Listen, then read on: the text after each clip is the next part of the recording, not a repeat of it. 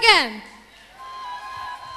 That's really wonderful. वैसे जो troop perform करके गई there's a one and only spice dance troupe जो हर हर शो में स्पाइस ऐड करती है अपने धमाकेदार परफॉर्मेंस से जो सिर्फ़ यहाँ ही नहीं ये दूर कलकत्ता से तो आए हैं हैं आपके एंटरटेनमेंट के लिए लेकिन इनके बारे में कुछ चीज़ें जानना बहुत ज़रूरी है बिल्कुल ये इंडिया गॉड टैलेंट में परफॉर्म कर चुके हैं और साथ ही साथ ऐसे बहुत से रियलिटी शोज़ हैं वैसे सिर्फ़ रियलिटी शोज़ ही नहीं बहुत से ऐसे स्टेज हैं जहाँ पे इनको पूरे सम्मान के साथ नवाजा जाता है इनके परफॉर्मेंस के लिए।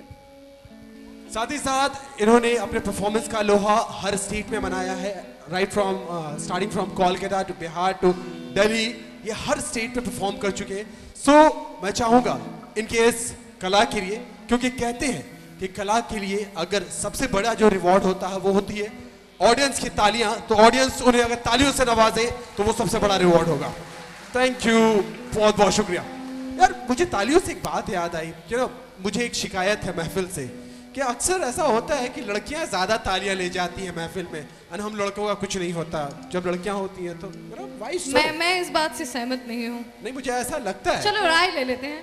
नहीं जब मैं शो के स्टार्टिंग में था and that two girls were hosting the show so they public were like oh my god. तालियाँ तो ऐसे बज रही थी जैसे मानो दोनों पैर से भी तालियाँ बजा सकते हैं लोग। उठ उठ के तालियाँ बजा रहे थे। Why so? You know?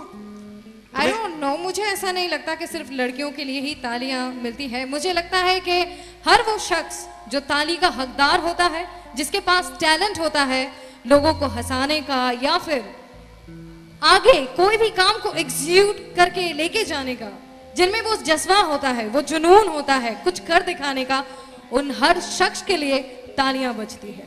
बिल्कुल right? तो यहाँ पे जितने सारे भी आइडिया के शख्स हैं जिसकी बदौलत आज आइडिया इस कामयाबी को छू रही है हम सभी से एक बार रिक्वेस्ट ज़रूर करेंगे कि एक बार जोरदार शानदार और धमाकेदार ताली आइडिया के उन सभी जवानों के लिए जिन्होंने आइडिया को आज इस मकाम पे पहुँचाया। बिल्कुल।